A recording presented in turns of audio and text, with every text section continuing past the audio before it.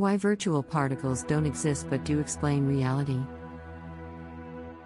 Hello and welcome back to our channel, Science Enthusiasts. In today's video, we will be discussing the intriguing topic of virtual particles and their existence in reality. Virtual particles are one of the most fascinating concepts in physics, yet their existence is still a topic of debate among scientists. In this video, we will be exploring the concept of virtual particles, their properties, and why they do not really exist, despite being a helpful tool in explaining quantum physics. What are virtual particles?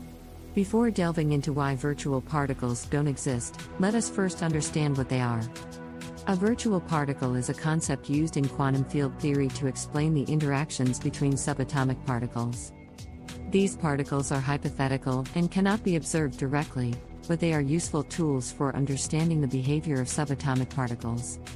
According to quantum mechanics, subatomic particles exist in a state of probability and can exist at multiple places simultaneously until they are observed. Virtual particles are said to exist in the vacuum state of the universe, and they are created for a brief moment and immediately disappear.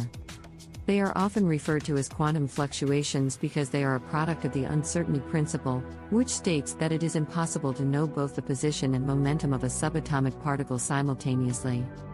Do virtual particles exist? Now the big question is do virtual particles exist? The short answer is no. Virtual particles are merely a mathematical tool used to explain certain quantum phenomena. They have never been observed directly, and it is unlikely that they ever will be. However, they are a necessary tool in understanding the quantum world and have been used to explain several experiments and observations. Virtual particles are said to be a product of the so called vacuum energy, which is the energy contained in the vacuum state of the universe. This vacuum energy is also known as the zero point energy.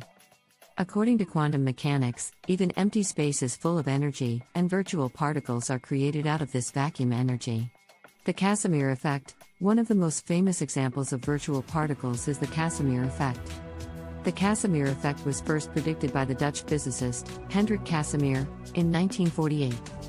According to the Casimir effect, two parallel metal plates placed close together will experience a force that pushes them together.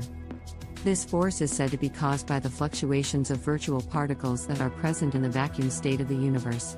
The Casimir effect has been observed experimentally, and the results match the predictions of quantum field theory.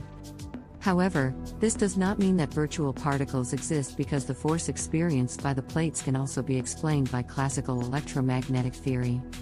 Why virtual particles are useful? Despite their non existence, virtual particles are an essential tool in quantum field theory and have been used to explain several phenomena that cannot be explained by classical physics.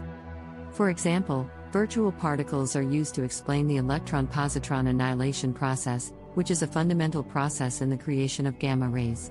Virtual particles have also been used to explain the Hawking radiation, which is the radiation emitted by black holes. The concept of virtual particles is used to explain the creation of a particle antiparticle pair that is created at the event horizon of the black hole. The black hole absorbs one of the particles, and the other particle escapes, causing the black hole to lose mass, which is known as Hawking radiation. Conclusion In conclusion, we have discussed the concept of virtual particles, their properties, and why they do not really exist despite being a useful tool in quantum physics. Virtual particles are a product of the uncertainty principle and are created out of the vacuum energy of the universe.